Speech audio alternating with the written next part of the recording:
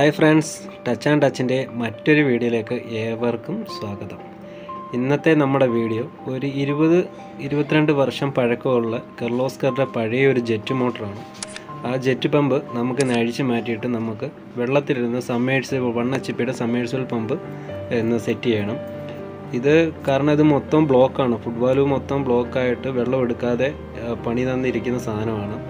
ഇത് തന്നെ മൊത്തത്തിൽ നട്ട് ബോൾട്ട് വരെ തുരുമ്പിച്ച് എല്ലാം പോയി. ആകെപ്പാടെ പതിനഞ്ച് മീറ്റർ താഴ്ചയുണ്ട്. പതിനഞ്ച് മീറ്റർ താഴ്ച കിണറുമായിട്ടുണ്ട്. ഇരുപത് ഇരുപത്തിരണ്ട് വർഷം പഴക്കമുള്ളതാണെന്നാണ് പറഞ്ഞത്. നമുക്ക് ഇതിന്റെ അകത്ത് വൺ എച്ച് പിയുടെ സമ്മേഴ്സിബിൾ പമ്പ് ഇടണം.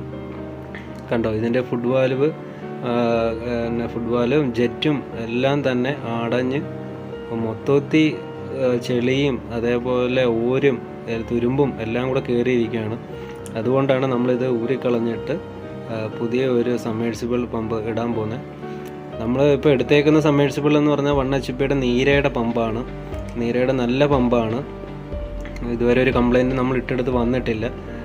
പമ്പിന്റെ കൂടെ വരുന്ന മൂന്ന് മീറ്റർ വയറും അതേപോലെ ഫുഡ് വാലുവും അതിന്റെ ബോക്സുമാണ് സ്വിച്ച് ബോർഡുമാണ് തൊണ്ണൂറ് അടിയുള്ള ഒരു പമ്പാണ് നമ്മൾ എടുത്തേക്കുന്നത്. കാരണം വലിയ താഴ്ച ഇല്ലാത്തതുകൊണ്ടാണ് തൊണ്ണൂറ് ഫീറ്റ് എടുത്തേക്കുന്നത്. വൺ എച്ച് പി മോട്ടറാണ് നീരയുടെ.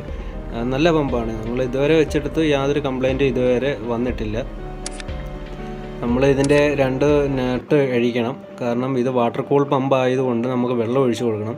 വെള്ളം ഒഴിക്കാൻ തന്നെ പമ്പിന്റെ കൂടെ ഒരു ചോർപ്പ് വെച്ചിട്ടുണ്ട് അവർ വെള്ളം ഒഴിച്ച് നമുക്ക് ഒഴിക്കാൻ വേണ്ടിയിട്ട് എളുപ്പത്തിന് വേണ്ടിയിട്ട് ചെയ്തതാണ്. പമ്പിന്റെ രണ്ട് നട്ട് ഊരിയിട്ട് അതുവഴി വെള്ളം ഒഴിച്ചു കൊടുക്കണം. വാട്ടർ കൂൾ ആയതുകൊണ്ടാണ് അങ്ങനെ ചെയ്യേണ്ടത്. എല്ലാവരും പ്രത്യേകം ശ്രദ്ധിക്കേണ്ടത് ഇത് തന്നെയാണ്. വെള്ളം ഒഴിച്ചു കൊടുക്കാതിരിക്കരുത്. പമ്പിന്റെ അകത്ത് എഴുതി വെച്ചിട്ടുണ്ട്.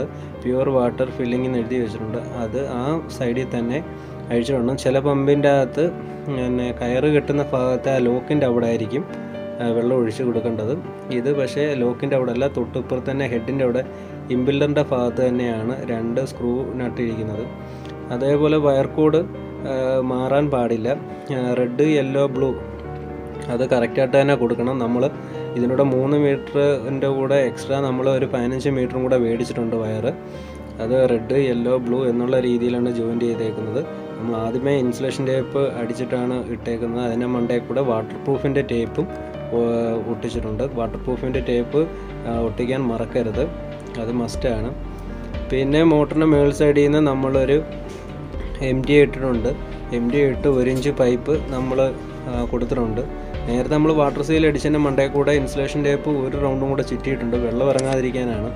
ഇനി അടുത്ത് ഫുഡ് വാൽവ് സെറ്റ് ചെയ്യണം. ഫുഡ് വാൽവ് അതിന്റെ അകത്ത് ചെറുതായിട്ട് ടൈറ്റ് കിട്ടാൻ വേണ്ടിയിട്ട് നമ്മൾ ഇച്ചിരി ടഫ്ലോൺ ടേപ്പും കൂടെ ചേർത്തിട്ടാണ് ചുറ്റി വെക്കേണ്ടത്. ഈ കമ്പിയിലാണ് നമുക്ക് കെട്ടിക്കണം പഴയ ജെറ്റിരുന്ന കമ്പി തന്നെയാണ് നമ്മൾ കയറ് കെട്ടി വെക്കേണ്ടത്. കയറ് നമ്മൾ എടുത്തേക്കുന്നത് റോപ്പ് നമ്മൾ നൈനോൾ നൈനോളിന്റെയാണ് എടുത്തേക്കുന്നത്. കാരണം പ്ലാസ്റ്റിക് കയറല്ല എടുത്തേക്കുന്നത്. കാരണം പ്ലാസ്റ്റിക് കയർ കുറേ നാൾ നാൾ കഴിയുമ്പോൾ പൊടിഞ്ഞ് കിണറ്റിൽ തന്നെ വീഴും. കിണറ്റിൽ തന്നെ വീണ് കഴിഞ്ഞാൽ ഇത് പമ്പ് വലിച്ചു കയറ്റും. അങ്ങനെ നമ്മൾ മോട്ടർ കെട്ടി ഇറക്കിയിട്ടുണ്ട്. മോട്ടറിന്റെ അകത്ത് നിറച്ചും ചപ്പ് ചവറുകളാണ്. അതായത് ചെടികളും പോച്ചകളെല്ലാം കിളിച്ചിരിക്കുകയാണ്. അതെല്ലാം നമുക്ക് ഒന്ന് ക്ലീൻ ചെയ്ത് കൊടുക്കണം. കാരണം വേറെ ആരുമില്ല ഇവിടെ. കിണറ്റിന്റെ അകത്ത് ഇറങ്ങാൻ. നമ്മൾ കയറ് നല്ലവണ്ണം ടൈറ്റ് പിടിച്ച് കെട്ടി വെക്കുന്നുണ്ട്.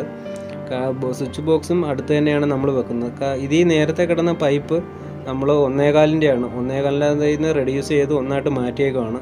Extra pipe മേടിച്ചിട്ടില്ല. നമ്മൾ ഒന്നേകാലിന്റെ അതിൽ നിന്ന് റെഡ്യൂസ് ഒന്നക്ക് മുക്ക ഒന്നേ ഒന്നേകാൽക്ക് ഒന്നിന്റെ റെഡ്യൂസർ മേടിച്ചാണ് ഇട്ടേക്കുന്നത്. അതേപോലെ നമ്മൾ കിണറും കൂടെ ഒന്ന് ക്ലീൻ ചെയ്ത് കൊടുക്കുന്നുണ്ട്. നിറയെ പോച്ചയാണ്. അപ്പോൾ നമ്മൾ എന്തായാലും ഇതിന്റെ അകത്തുനിന്ന് ഇറങ്ങി. അപ്പോൾ അതും കൂടെ ഒന്ന് ചെയ്ത് കൊടുക്കാം. ഇനി അതിന് വേണ്ടിയിട്ട് സെപ്പറേറ്റ് ഒരാളെ ഇനി വിളിക്കേണ്ട ആവശ്യമില്ല.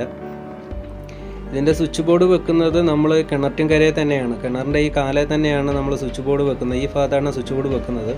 കാരണം ഇവിടെ ബിൽഡിംഗുകാർ വരുന്നത് കൊണ്ട് അവിടെ ഒരു ചെറിയൊരു ഷീറ്റ് വെച്ച് മറച്ച് നനയാത്ത രീതിയിൽ ചെയ്യുന്നുണ്ട്. നമ്മളങ്ങനെ സ്വിച്ച് ബോർഡ് വെച്ചു കണക്ഷനും കൊടുത്തിട്ടുണ്ട്. നേരത്തെ ഇരുന്ന ഫേസും ന്യൂട്രൻ തന്നെയാണ്. താഴേന്ന് ട്വന്റി എം എം പൈപ്പ് ഇട്ട് മേപ്പോട്ട് പൊക്കി ക്ലാമ്പ് ചെയ്ത് വെച്ചിട്ടുണ്ട്. അതുകൊണ്ട് സേഫായിട്ട് പശ വെച്ച് ഒട്ടിച്ച് വെള്ളം ഇറങ്ങാത്ത രീതിയിലാണ് നമ്മൾ വെച്ചേക്കുന്നത്. അതേപോലെ ഫേസിന് ന്യൂട്രൻ കൊടുത്തു. ആർ വൈ ബി അതിന്റെ തൊട്ട് താഴെ തന്നെ എഴുതിയിട്ടുണ്ട്. അത് നമ്മൾ കറക്റ്റായിട്ട് കണക്ഷൻ കൊടുത്ത് വെച്ചിട്ടുണ്ട്. ഇനി നേരത്തെ ഓണാക്കുന്നതിന്റെ തൊട്ട് അകത്ത് തന്നെ ഓണാക്കിയാൽ മതി. ഇവിടുത്തെ സ്വിച്ച് എപ്പോഴും ഇതേപോലെ ഓണാക്കി ഇട്ടേക്കാം. അങ്ങനെ നമ്മൾ മോട്ടർ ഇട്ടിട്ടുണ്ട്. ഇൻഡിക്കേഷൻ കത്തുന്നത് കാണാം. ചെറിയൊരു വോൾട്ടേജ് വേരിയേഷൻ ഇവിടെ കാണിക്കുന്നുണ്ട്. എങ്കിലും കുഴപ്പമില്ല.